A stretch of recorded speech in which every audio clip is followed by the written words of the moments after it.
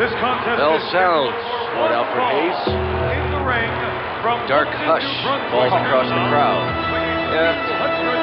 I think we could write an elegy about this man. Brian Jewel. the Undertaker. Certainly not Brian Jewel. He is bound for parts unknown, I believe him, either up or down. I think there are parts unknown in that urn. Paul Bearer is holding as slowly make their way to the ring. In his other hand is the body bag, which has become a constant fixture at ringside. And they have used quite a few of those. Indeed, they have the name Undertaker and linked with that of Paul Bearer have struck horror and fear into the hearts of stout men. That little girl, fear in her eyes, don't blame her with this fellow around. Wow. Another frightened youngster. A lot of frightened adults.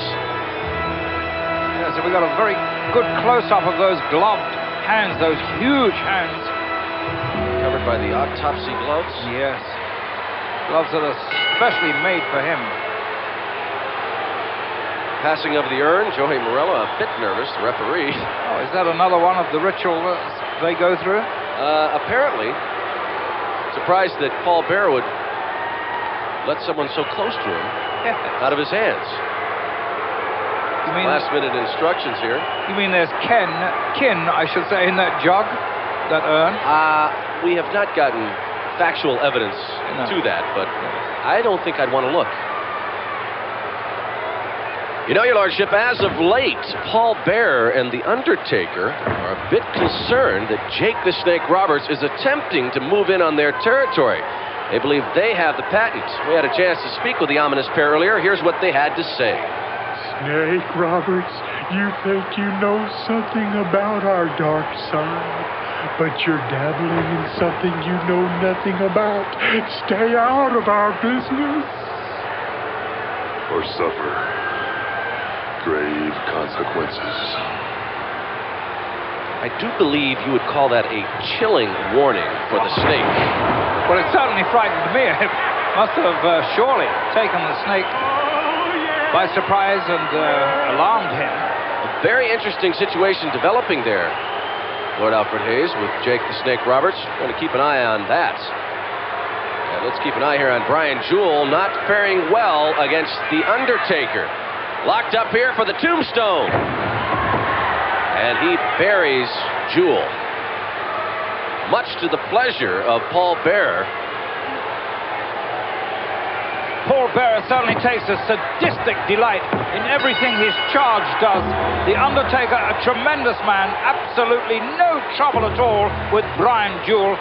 Let us get the official word on this, although it's hardly necessary. Vale Destroyer has another victim. Paul Bearer bringing up the body bag as the sick ritual continues. Lord Alfred Hayes. I am very surprised President Jack Tunney has made no ruling on this. There is no ruling at all, Sean. Mean, at all. This does seem to be a despicable act. Well, not only endangering the life of the Undertaker's opponents, there is no air in that bag once they seal it up. And time is certainly of the essence for the referee or the doctor at ringside to get that bag open once the Undertaker and Paul Bearer leave. I really believe some ruling has to be made. Well, obviously, Tunney hasn't made that ruling yet. Let's have another look and see exactly what The Undertaker did to Brian Jewel. Was icily controlled by The Undertaker. And once again, he's put his brand and his particular ritual upon this bout. Another victory for The Undertaker, as chilling as it may be. Get him out of here! Well, where are we?